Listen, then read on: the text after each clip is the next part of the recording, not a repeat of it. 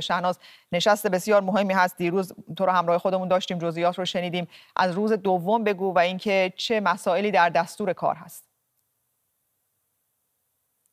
خب نیمه اول روز نشستی خودی سازمانی همکاری شانگهای بود و حالا هم طور شما اگر پشت سر من بینید انتونیو گوترش دبیر کلی سازمان ملل متحد دارد صحبت می‌کند و این هم بخش سازمان همکاری شانگهای و созмони милал ном дорад ки э, ҳоло мехоҳанд э, ҳамкориҳои густурда ва ҳамкориҳои наздиктареро бо созмони милал барқарор кунанд ва э, дар аввал раиси ҷумҳури қазоқистон суҳбат кард ва гуфт ки сохтори амнияти ҷаҳон таҳти хатар қарор дорад ва ҳоло созмони милал بهتر می بود که با سازمان همکاری شانگهای ارتباط نزدیکتر را براه بماند و همچنین او گفت که در پی نزاعهای تحریمی وضع اقتصادی و تجاری جهان هم بد شده است. یعنی تاثیر منفی می‌گذارد روی این بخش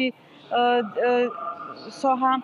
و خواست که یک نظام معین را میان کشورهای عضو سازمان براه گذارند و همچنین او گفت که роҳҳои оҳани кишварҳои узви созмон 350 ҳазор километрро дар бар мегирад ва ин имкон медиҳад ки дар соли оянда гардиши молу коло миёни кишварҳои узви созмон ба 3 миллиард доллар табдил ёбад. Ва яъне ҳамчунин ӯ зикр кард ки созмони ҳамкории шонғҳой дар минтақаи авроосиё яке аз созмонҳои бисёр бонуфузу пуриқтидор аст ва метавонад як кӯмакрасони хеле хубе барои سازمان ملل متحد باشد. همچنین او گفت که کشورهای عضو